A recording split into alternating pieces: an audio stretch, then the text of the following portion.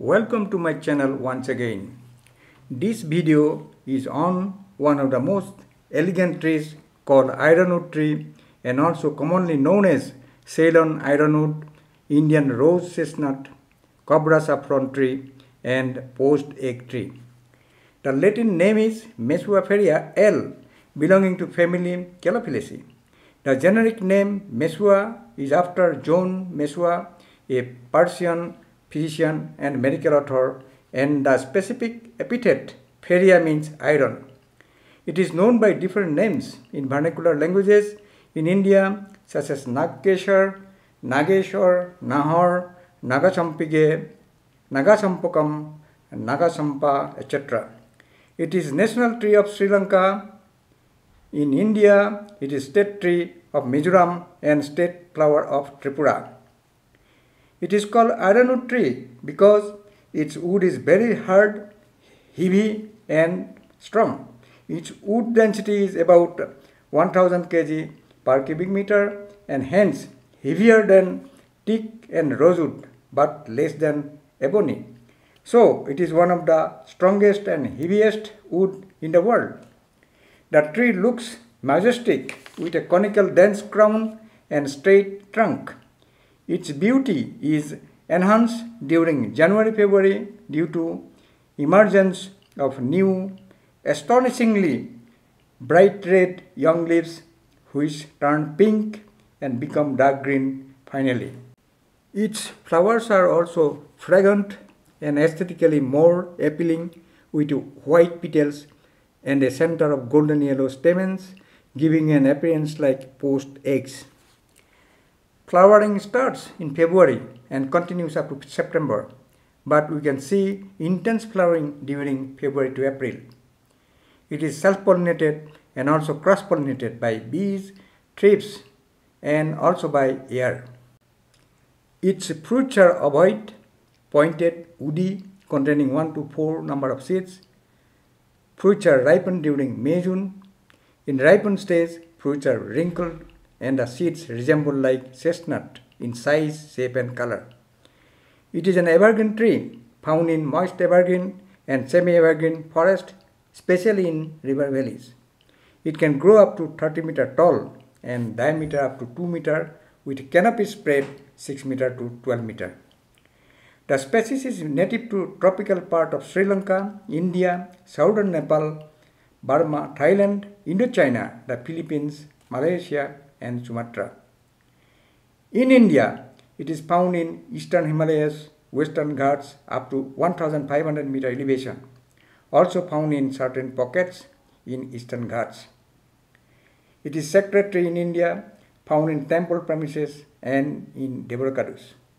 Old ironwood trees are seen around the ancient Buddhist monasteries in Sri Lanka. Buddhists believe that next Buddha will attain enlightenment under this tree. Now let us discuss about its uses. The tree is widely planted in gardens, along the roadsides, in institution compounds, and in other public places due to its graceful look. It is also used in thematic landscaping like naturalistic garden.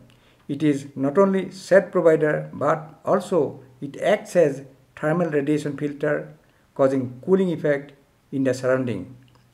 The hardwood is very heavy and strong, resistant to termite and insects, and hence it is very durable. Its wood is used for heavy construction, railway sleepers, boat building, pillars, rafters, posts, etc. The shelled kernels of Mesua ferrea fruits contain about 75% oil so, seeds of Mesua ferrea will be potential source for quality biodiesel production in near future.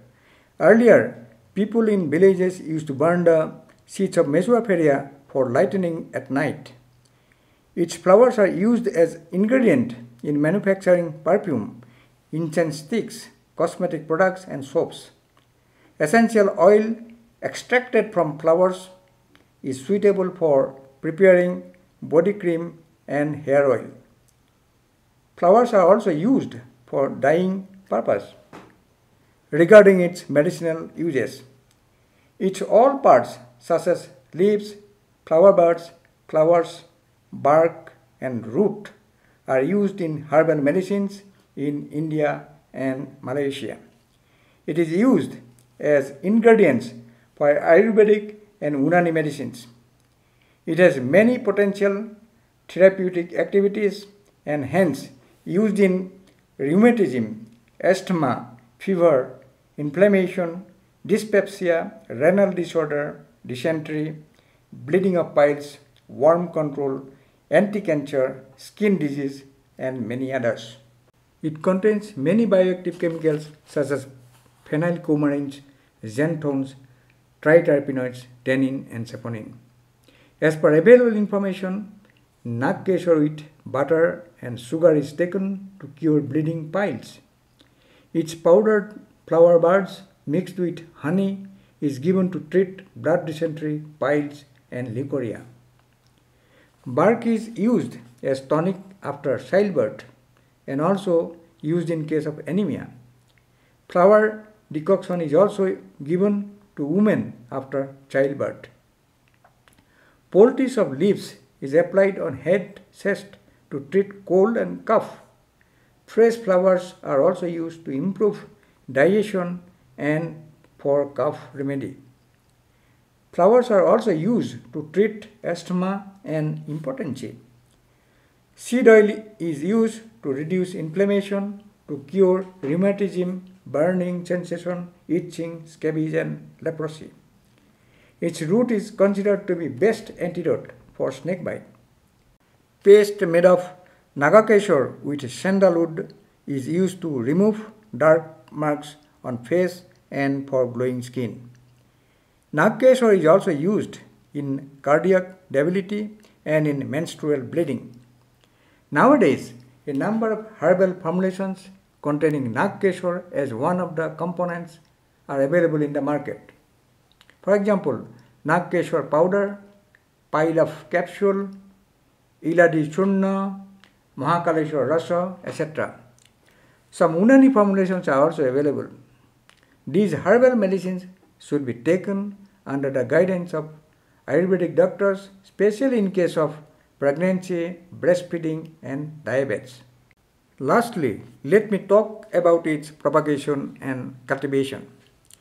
The species requires moist to wet tropical climate with high rainfall and humid atmosphere. It prefers mean annual rainfall 3000 to 4000 millimeter but can grow in areas with 2000 to 5100 millimeter rainfall. Best day temperature range 30 degree to 35 degrees Celsius. Its young plants are set tolerant but gradually prefers open sunlight. It is susceptible to frost and drought.